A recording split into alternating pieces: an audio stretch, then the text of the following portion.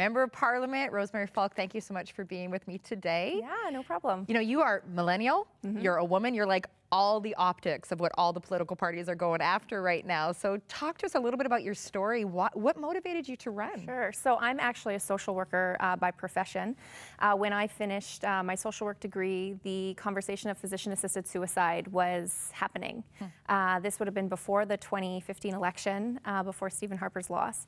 And um, I was practicing medical social work, so in the, in the hospital setting, and seeing how it affects real families right? And in the social work world, we have different terminologies of a micro or a meso or a macro. And this is this was a great opportunity to affect policy on a macro level uh, as opposed to just the, the local level and you know help cut red tape, which is anybody that works on the front lines worst nightmare.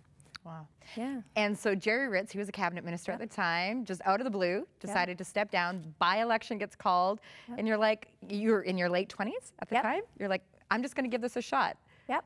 Tell us about that. You know, and it's funny because people mention, like, you know, Jerry Ritz was a cabinet minister. I had no idea. Like, I knew he was, but it didn't intimidate me. I just knew uh, I need to put my name on a ballot, and I have a great husband, a supportive family. Uh, my mom would go door knocking with me during the nomination, and we cold knocked doors and sold memberships, and that's that's what we did. Wow. Yeah, and there was no, there was never a doubt. There was never. Uh, oh, well, you shouldn't be doing this because you're a woman. Oh, well, it's going to be hard. There was none of that. It was, no, this is what I'm going to do, and my husband's here to support me, and we did it. So you're young, you're a woman, but you're also, I'm going to throw you the hot seat here for yeah. a second, pro-life. Absolutely. And I remember there being pressure on you during the election by, by some people to sort of dumb that down, but For you sure. didn't. Absolutely, yeah. Uh, it's actually funny when you look back at um, the nomination race. It was me and four other men uh, all, for the most part, all older than me. And uh, I was the first one to speak the first night we had our first meeting. And I said, I am pro life and I will not deny that. And it actually set the tone. Uh, all of a sudden, I was running against everybody that was pro life. And uh, I think it's really important that uh, you, one owns their values uh, and not be ashamed or afraid to, to say what they believe and, and what they are. Wow. Yeah. Well, you definitely are not afraid to say what you think or what you mean. And so what we're going to do right now is we're actually going to watch a clip of you in action in Parliament. And this is actually a montage of several different statements that you've made about several different issues uh, over about the last year. And then we're going to pick up the conversation where you see things going in Parliament uh, after we watch this clip. Wonderful. So. Mr. Speaker, tackling climate change requires leadership. Canada continues to fall further and further behind its emissions targets. And the Prime Minister's personal choices, like flying between Ottawa and Florida four times in three days, are not helping. In fact, his carbon footprint is insulting to Canadians who are already struggling to get ahead and who have to pay the Liberal carbon tax just to drive to work. The reality is, Canada will not meet the Paris emissions targets under this Prime Minister. That is because the Liberal carbon tax is not an environmental plan, it is a tax plan. And it's a tax plan that punishes Canadians living in rural Canada. Government documents reveal that the Liberals have a plan to hike their carbon tax 15 times higher than it is today. Oh. That's an annual $5,000 carbon tax for all Canadian families, including those families that are struggling, unlike what the Prime Minister just stated earlier. Well, that may be peanuts for the Prime Minister who inherited a great family fortune. The average Canadian cannot afford it. Why is the Prime Minister covering up the actual cost of his carbon tax until after the election? Mr. Speaker, China continues to block canola imports due to baseless claims. For two months, our canola producers have been waiting for this Prime Minister to show some leadership and to stand up for their interests. Instead, the Prime Minister has let China walk all over him. Our canola producers are being penalized. When will the Prime Minister stand up to China and defend Canadian producers? Mr. Speaker, keeping Canadians safe should be the priority of every government, and a serious crime should never be taken lightly. Yet the Liberals are pushing ahead with legislation to reduce sentencing for serious crimes. Human trafficking is a despicable crime with a devastating impact on its victims. It is a crime that is growing in Canada. We need to be sending a clear message to perpetrators. Modern day slavery is unacceptable in our communities and carries a severe penalty. Instead, through C75, the Liberals are eliminating consecutive sentences for human traffickers. Canadians are right to be concerned. Their misguided legislation could result in lighter sentencing for a long list of serious crimes. I know uh, as being a young woman, sometimes uh, it's difficult to know when is the right time to speak and, and not to be discouraged by the, the louder voices that don't want me to speak. So I want to thank you for your courage and, um, and for coming here. Wow. So that's Rosemarie in action. Yeah. I, I want to say beast mode. Don't mess with the We touched a lot of topics. Uh, yes, well, you've done a lot of work, right? This is amazing. Now, I want to mention for those that might not be familiar with the House of Commons, so you're part of the official opposition, and so Mm-hmm. your job is to hold uh, Justin Trudeau's feet to the fire Yeah. on a variety of issues and question and challenge. That's kind of what you were doing there Yeah, in all those various clips. But yeah, covered a ton of ground. Uh, Mm-hmm. in those clips, are, are there any particular topics that are really burning in your heart and that you feel are going to be significant uh, in the next few months here in Parliament? Well, I think when we look at uh, what's going on right now in Alberta and Saskatchewan, especially uh, just with Wexit and the pipeline and oil and gas and just our economy out there, uh, and I and I say this all the time. You know, I I support and I'm there to be a voice for families, taxpayers, and and uh, farmers. And a lot of our farmers subsidize their farming with oil and gas work.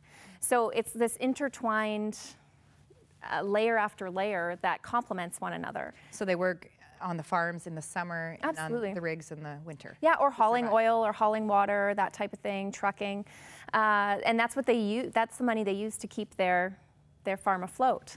Uh, so you know, And these are farms that feed Canadians. Absolutely, absolutely. Saskatchewan uh, feeds the world, right? Our grain, our cattle, uh, you know, they they go out and literally feed the world. These people in Saskatchewan, and so I think uh, once the House reconvenes, uh, it'll be really interesting to see what in, in Justin Trudeau's throne speech what he makes an importance, and I think that's going to kind of dictate where we're going to go in the coming weeks. Now you live Lloydminster, Yep. uh, Battlefords. That's your Yep. your constituency. How are you seeing what's happening in the prairies? How are you seeing it impact families in your your riding? Uh, well, the day after the election, uh, there was an oil company that's very prominent in Lloydminster laid off about 60 people. And so, you know, these people coming into work and seeing taxis lined up, not knowing that those taxis are actually going to take them home, you know, a couple hours later after they have a conversation. And uh, I was telling people the other day, I said, what's so important to recognize about this is it isn't just a job. This is, you know, money that uh, puts the kids in hockey. This is the money that puts uh, kids in dance or food on the table. And uh, I don't see what the federal government is doing to make that a priority uh, for these families, like their job security. Wow, profound. Uh, anything else that's kind of on your radar? How about freedom of conscience? For issues sure, absolutely. Uh, I'm in a really unique position because I live in Lloydminster, Saskatchewan, which is the border city of Canada. We're half Alberta, half Saskatchewan. So I've been following uh, what's going on in Alberta right now with their conscience rights bill. And uh, for me, I see it as a no brainer that we need to protect uh, those uh, physicians, uh, nurses, healthcare practitioners, institutions that don't want to participate due to their conscience, uh, physician assisted suicide. And, uh, you know, I think that's should be front and foremost in, in conversations with people because once we start start to take away that that right to think, that right to believe, that right uh, of speech, we're going to go down a very scary, scary path as a nation. Wow. Mm-hmm. So let's keep that on our radar. Now, in the last parliament, there was a private member's bill, not a government bill, but a private member's bill that came forward federally on the physician conscience Right. right. Um, if your number gets pulled, do you have any ideas of what you might put forward as a private member's bill? I have there's there's a list in my mind. Um, I'm I'm getting excited because that's going to come very soon, and I expect to be pulled near the front. I mean, I couldn't even say what I would do. I mean, conscience rights, yes. Uh, protection for unborn, absolutely. Uh, it just kind of depends where I get pulled. do you think your leader will let you put something forward? Uh, that my, that's a very good question. My leader has stood beside uh, and behind his comments of allowing backbenchers Hmm. to uh, bring forward legislation. I mean, we're not in government as well, which is going to add a little bit of a spice to it. Right. So yeah, and I mean, at the end of the day, I'm going to follow my convictions and um, and the people that I represent. Now, let, let, me just qualify that a little bit. When you say follow your convictions, like there was a lot of buzz around Andrew Scheer saying he will not allow an abortion bill. But basically, what you're saying is if your number is called as a private member, your leader actually can't stop you Absolutely, from, yeah. like, like technically. No, no leader can stop, stop anybody. Uh, I guess it just depends uh, if you know leaders want to use fear tactics and that type of thing. I mean, I've seen it in the last parliament. Before I was there with Cassie and Molly's Law, I wasn't uh, elected at that point, but I had seen you know. Um, even liberals that had a conviction of life that either abstained uh, or voted against, which even in, even abstaining says sends a strong message of of where you stand. Right, right. Mm -hmm. Well, the entire Conservative caucus um, sat down on a particular motion mm -hmm. back in May. We're going to talk about that in a second, and it relates to women, mm -hmm. young women. Uh, and so we're going to talk about that right after this clip by Jordan Peterson, where he's unpacking the whole ideology around gender equity and the cabinet. So let's watch this clip uh, right after the break and then pick up the conversation. For sure. That's right after this.